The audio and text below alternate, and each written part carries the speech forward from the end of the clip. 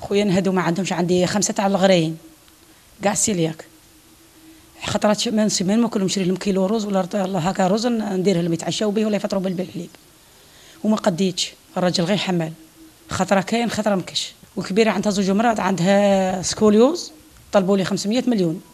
الأخرى الزوجة فيها العبرة نتبع لها تاع العبرة ونتبع لها ونتبع لها السيلياك أنا فاطمة في عمري 19 سنة عندي scoliose و céliaque وبويا وما ما عندهمش وما عندهمش باش يوفروا ثاني لخواتي. اسمي حليمة عمري 14 سنة مريضه بال céliaque.